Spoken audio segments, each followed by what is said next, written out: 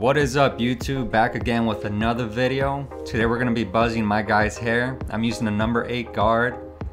And after I get done buzzing his hair, I'm to be doing a taper fade on the sides. A mid taper to be specific. I'm not a big fan of using guards, but in this case it's just efficient. It's the number that he wanted. He's an up and coming barber. He, he knows how to cut hair and he knows what he wants. So he, we slap the number 8 on the wall and we're to go ahead and run through it making sure everything's thorough. You might have to use your comb to pick up some of the hair.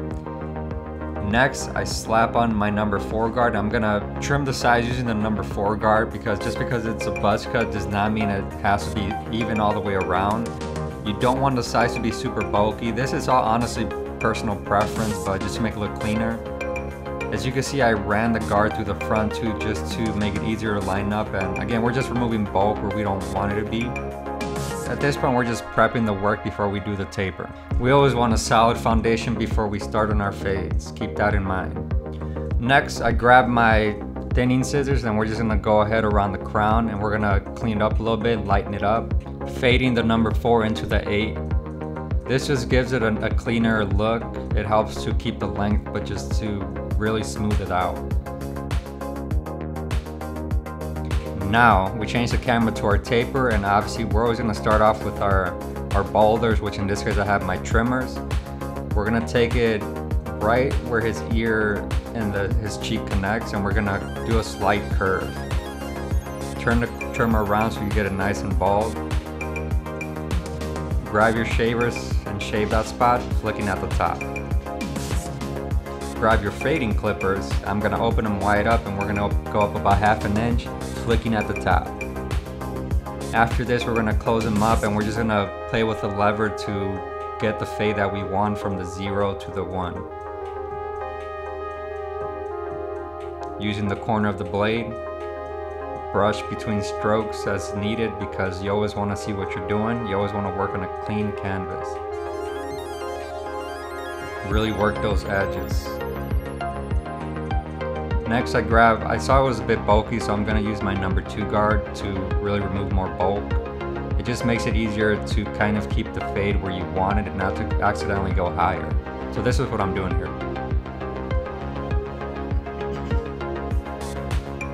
Again, we're just using the tip of a blade, the edge of our blade. We're not using the entire actual blade.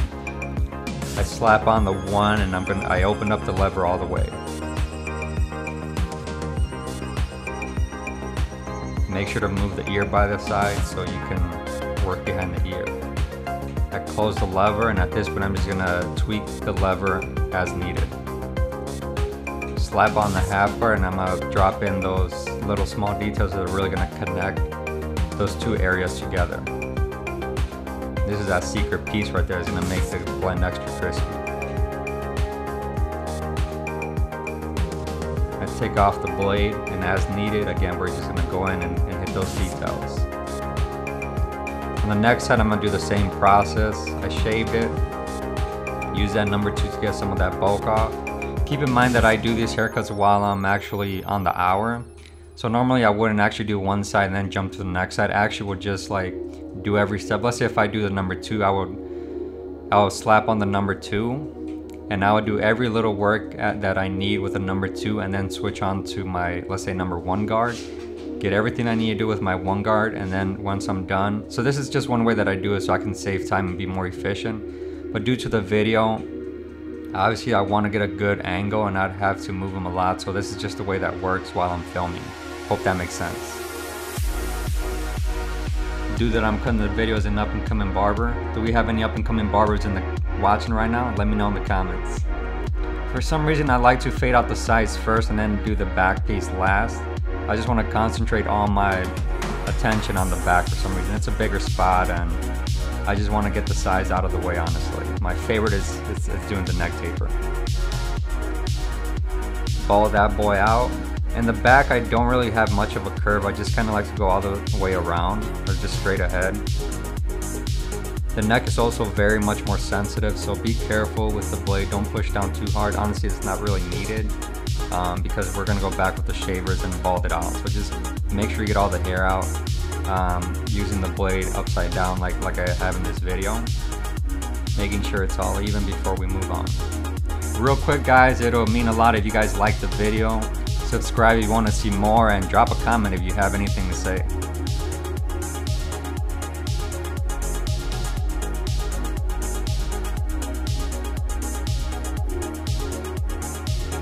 For some reason, I don't know if it's because I'm right-handed or not, but I like to work from right to left. But you guys, everyone has their own style. The key is to find the way that you like the best. The back, you can go up a little higher than the sides. So um, if you can see, it's about, I went up about an inch, looking up at the top. You can kind of see me tweak my lever a little bit better from this angle.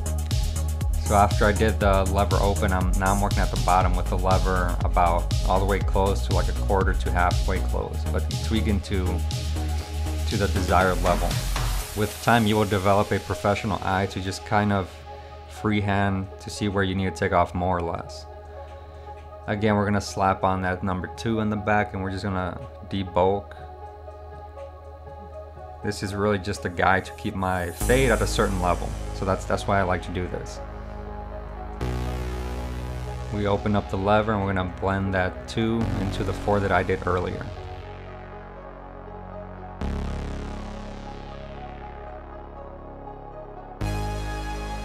Next, I'm gonna slap on the number one guard and I'm gonna go ahead and again, we're gonna fade up an inch, always flicking at the top. I don't care what level you're on, what stage you're on, always flick out at the top. We're flicking parallel to the head shape.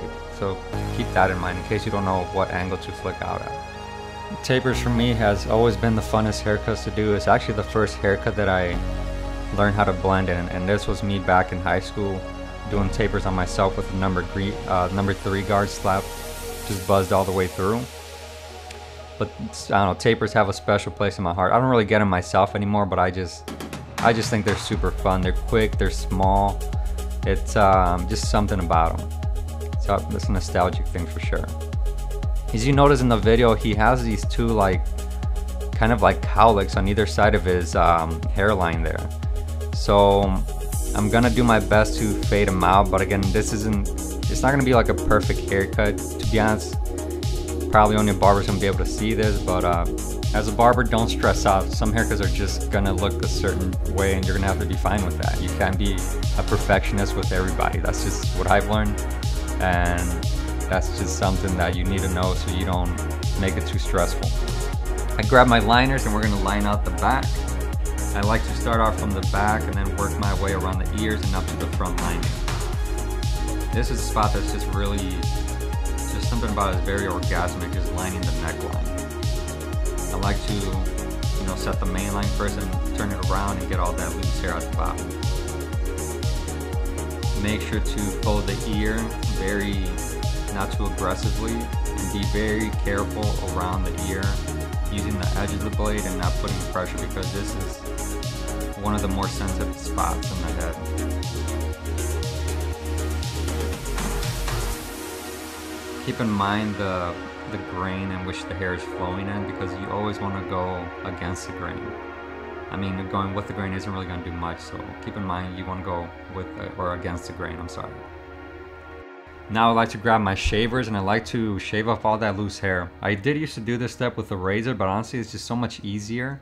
And it's also so much better when you do them with the shavers. I don't know, that's, that's just what I've came to learn after years of doing it. I like to get behind the ear. Now we're gonna do the side, the C cup as it's called, using still the blade, the edge of the blade. I'm gonna do the front. I always like to start in the middle and then go out.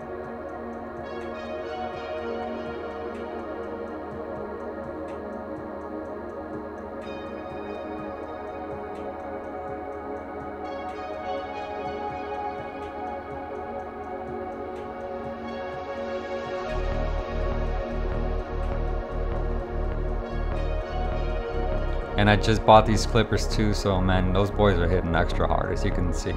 Sometimes it's not even about having a fresh blade, it's just something about a fresh clipper that just hits right every single time. Clippers probably have like a good month or two in them before they start to act a little funny, they start to slow down, but yeah, that first couple weeks in, like it just hits super good.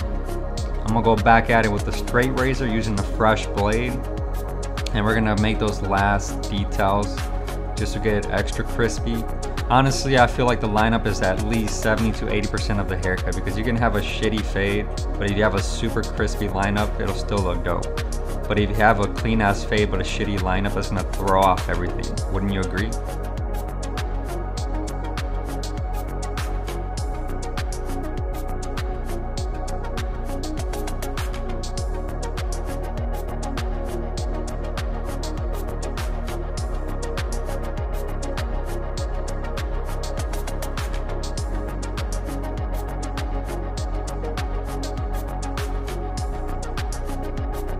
For the very last detail, I like to go back with my curved shears and get the lining. This is great for buzz cuts, for afros, for beards. I mean, if you don't have a pair of curved scissors, you better get them because these are, man, these come in clutch when you need them, I tell you. I hope you guys enjoyed this quick little video I have of a taper fade and a buzz cut. But if you guys want to see more content, make sure to subscribe. Make sure to like the video, drop a comment. I'll see you guys in the next video. This is Alejandro Cuts Hair, signing out. Peace out.